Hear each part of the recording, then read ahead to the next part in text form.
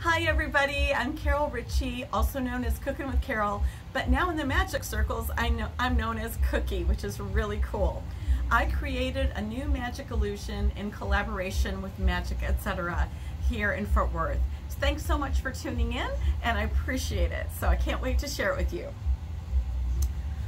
When the headlines read, these are the worst of times, it can evoke fear into our hearts.